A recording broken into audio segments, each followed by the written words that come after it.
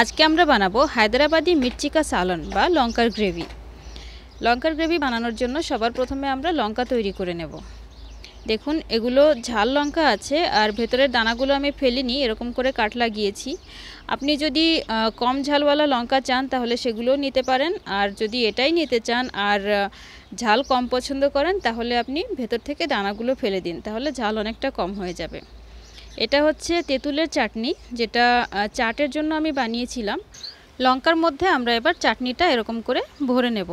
যেরকম করে আমরা ভরবা মির্চি বা পুরভরা লঙ্কা বা লঙ্কার আচার বানাই, সেরকম করে আমরা চাটনিটা মির্চির মধ্যে ভরে দেব।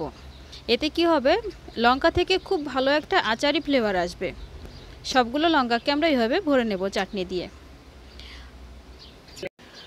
এই চাটনিটা আমি ঘরে বানিয়েছি, তেঁতুলের চাটনিটা। রেসিপিটা আমি ওপরে আই বাটনে এবং নিচে ডেসক্রিপশন বক্সে দিয়ে রেখেছি, আপনি চাইলে চেক করতে পারেন।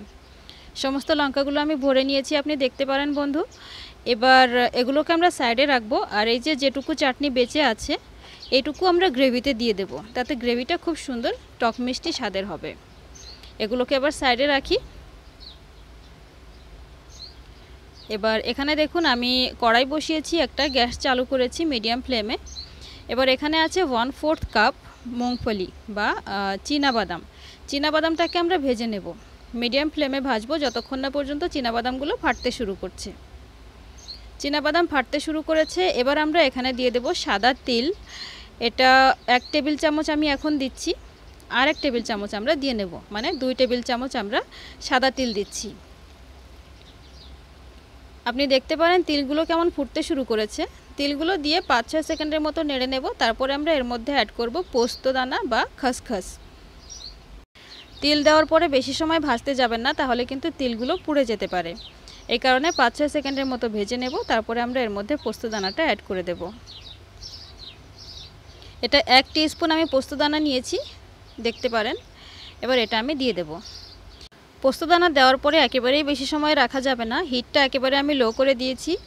আর এবার দু এক সেকেন্ডের জন্য নাড়াচাড়া করব। তারপরে আমরা এর মধ্যে গোটা ধনে আর গোটা জিরে দিয়ে দেব। এখানে এক টেবিল চামচ আমি ধনে দিচ্ছি। এর সাথে সাথে আমরা এখানে শুকনো লঙ্কাও অ্যাড করে দেব, তিন চারটে শুকনো লঙ্কা। আর এর সাথে আমি দিচ্ছি এক স্পুন মানে এক ছোটো চামচ গোটা জিরে। নেড়ে চেড়ে নেব। শুকনো লঙ্কা হালকা কালার চেঞ্জ হলে আমরা এটাকে নামিয়ে নেব। নামিয়ে একটা প্লেটে নিয়ে নেব। কিন্তু হিট বন্ধ করার পরে এখানে আমি নারকেল অ্যাড করব। আপনার কাছে যদি তাজা নারকেল থাকে, তাহলে এখানে অ্যাড করার কোনো দরকার নেই। আর নারকেলকে একেবারেই ভাজার দরকার নেই। এটা আমার কাছে শুকনো নারকেল বা এটাকে খোবরা বলে। তো হিট বন্ধ করার পরে নারকেলটা দিয়ে একটু নেড়েচেড়ে নিচ্ছি, তারপরে আমি নামিয়ে নিচ্ছি। চাইলে আপনি তাজা নারকেল দিতে পারেন, সেটাতে অনেক বেশি ভালো স্বাদ আসে। দেখুন, আমি একটা প্লেটে নিয়ে নিয়েছি ঠান্ডা হওয়ার জন্য। আর এই মশলাগুলোকে আমরা এবার ঠান্ডা হতে দেব। আর চলুন লঙ্কাগুলো ভেজে নেব। হিট আমি আবার চালু করেছি মিডিয়াম ফ্লেমে আর লঙ্কাগুলো দিয়ে দেব। একটুখানি আমি তেল দিয়েছি, বেশি তেল দিতে হবে না। লঙ্কাগুলো ভেজে নেব ততক্ষণ পর্যন্ত, যতক্ষণ পর্যন্ত কি লঙ্কাগুলো খুব ভালোভাবে সফট হয়ে যায়। ওপর থেকে দেখেও বোঝা যাবে আর চামচ দিয়ে চাপ দিলেও বোঝা যাবে। এই দেখুন, লঙ্কাগুলো খুব ভালোভাবে সফট হয়ে গেছে।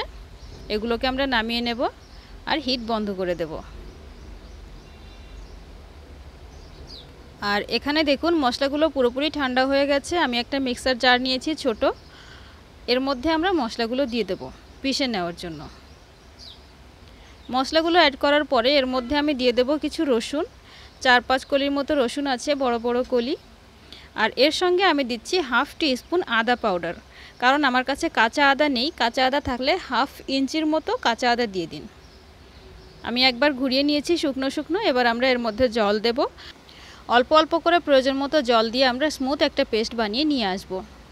এবার আমি কিছুটা জল দিয়েছি এভাবে আমি একবার চালিয়ে নেব মিক্সিটা, তারপরে লাগলে আরও একটু জল দেব, দিয়ে আমরা স্মুথ পেস্ট বানিয়ে নিয়ে আসব। দেখুন বন্ধুরা, আমি পরে আরও একটু জল ব্যবহার করেছি, আর দেখুন পেস্টটা খুব স্মুথ হয়েছে আমি আপনাকে চামচ দিয়ে উঠিয়ে দেখাচ্ছি, এই দেখুন খুব সুন্দর স্মুথ একটা পেস্ট বানিয়ে নিয়ে এসেছি আমি। এবার আমরা এটাকে সাইডে রেখে দিই। আর চলুন কড়াইয়ের দিকে যাই আবার। যে কড়াইয়ে আমি লঙ্কা ভেজে নিয়েছিলাম, সেই কড়াইটাই আমি নিয়ে নিয়েছি। হিট আবারও চালু করেছি মানে গ্যাস চালু করেছি। এবার আমরা তেল দিচ্ছি। এক চামচই তেল দিয়েছি আমি। এর থেকে বেশি তেল আমি দেব না। চাইলে আপনি বেশি তেল দিতে পারেন, কোনো অসুবিধা নেই। কিন্তু আজকে আমি কম কম তেলেই বানাবো।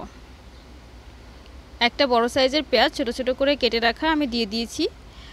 আর পেঁয়াজের সাথে আমরা লবণ অ্যাড করব স্বাদ মতো।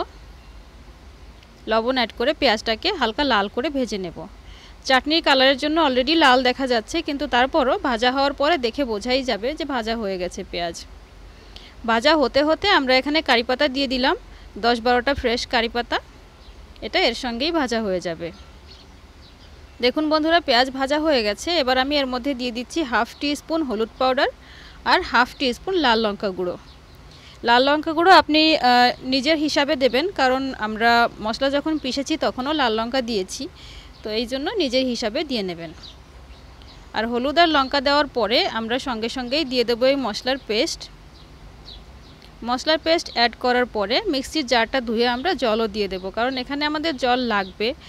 আর এমনিতেও মিক্সির জারে অনেকটা মশলা লেগে আছে, তো সেটা আমরা ওয়েস্ট করব না, ধুয়ে দিয়ে দেব। দেখুন। দিয়ে দিলাম। এবার আমরা এই মশলাটাকে 10 থেকে বারো মিনিটের জন্য কষাবো। গ্যাসের ফ্লেম লো টু মিডিয়ামে রাখতে হবে। বেশি ফ্লেম দেওয়া যাবে না, বেশি হিট দেওয়া যাবে না, তাহলে কিন্তু মশলা নিচে থেকে পুড়ে যাবে। আমি ভালো করে মিক্স করে নিয়েছি। এবার আমরা কুক হতে দেব। মশলাটা যথেষ্ট গাঢ় হয়ে গেছে আর এখন একটু ছিটিয়ে ছিটিয়ে আসছে। এই কারণে আমি কিছু সময়ের জন্য ঢেকে দেব। আর টোটাল মিলিয়ে দশ বারো মিনিটের জন্য কুক হতে দেব। হিট আমি লোতে রেখেছি। লো থেকে একটু বেশি। দেখুন বন্ধুরা, টোটাল দশ বারো মিনিট হয়ে গেছে আর মশলা যথেষ্ট গাঢ় হয়ে গেছে। আপনি যদি এখানে বেশি তেল দিতেন তাহলে ওপর দিয়ে আপনার তেলও দেখা যেত। কিন্তু আমি তো একেবারেই কম তেল দিয়েছি, এই কারণে তেল একেবারে দেখা যাচ্ছে না। এবার আমরা গ্রেভির জন্য জল দিচ্ছি। নিজের হিসাবে জল দেবেন আর এটা আমরা বিরিয়ানির সাথে খাওয়ার জন্য গ্রেভি বানাচ্ছি, তো খুব বেশি জল দেবেন না। কারণ পাতলা গ্রেভি বিরিয়ানির সাথে একেবারেই খেতে ভালো লাগবে না। তো এখানে আমাদের আরও পনেরো থেকে সতেরো মিনিটের জন্য কুক করতে হবে, সেই হিসাবে আমি জল দিয়েছি। এখানে আমি দিয়ে দিচ্ছি হাফ টিস্পুনের থেকে একটু কম গরম মশলা, শাহি গরম মশলা। এটা ঘরে বানানো রেসিপি আপনি ডেসক্রিপশন বক্সে পেয়ে যাবেন। ভালো করে মিশিয়ে নেব আর কুক হতে দেব মোটামুটি পনেরো থেকে সতেরো মিনিটের জন্য। বিরিয়ানির সাথে এই গ্রেভিটা খেতে অসাধারণ লাগে বন্ধুরা। এবার বলক এসে যাওয়ার পরে আমি এখানে লঙ্কাগুলো দিয়ে দিচ্ছি। এখানে একটা কথা বলতে চাই কি লঙ্কাগুলো আমি শুরুতেই দিচ্ছি এই কারণে যে কাঁচা লঙ্কার সুগন্ধটা এর মধ্যে ভালোভাবে আসুক। আর যে চাটনিটা আমাদের বেঁচে ছিল সেই চাটনিটাও আমরা এখানে দিয়ে দেব।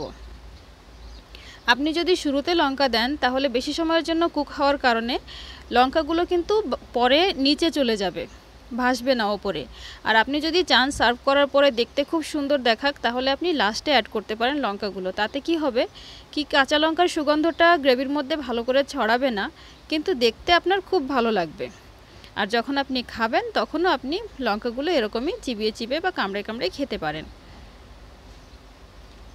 দেখুন, গ্রেভির গাঢ়ত্ব ঠান্ডা হওয়ার পরে আরও গাঢ় হয়ে যাবে। তো এই কারণে আমি এখানেই স্টপ করব। আর লাস্টে আমি এখানে অ্যাড করব ধনেপাতা ফ্রেশ ধনেপাতা কিছুটা আমি দিয়ে দিলাম। ভালো করে মিশিয়ে নেব। আর আমাদের বিরিয়ানি গ্রেভি একেবারে তৈরি হয়ে গেছে সার্ভ করার জন্য। গাঢ়ত্ব আপনি দেখতেই পাচ্ছেন। এই দেখুন। এবার আমরা হিট বন্ধ করে দেব আর বিরিয়ানি গ্রেভি সার্ভ করে নেব। দেখুন বন্ধুরা, খুব সহজ প্রসেসে আমি হায়দ্রাবাদি বিরিয়ানির সালন বানিয়েছি। বিরিয়ানির সঙ্গে এটা এনজয় করুন, ঘরে অবশ্যই ট্রাই করুন আর ট্রাই করে আমাকে কমেন্ট করে নিশ্চয়ই জানান যে আপনার কেমন লাগল। চলুন বন্ধুরা, আজকের জন্য এ পর্যন্তই, দেখা হবে পরবর্তী ভিডিওতে বাই বাই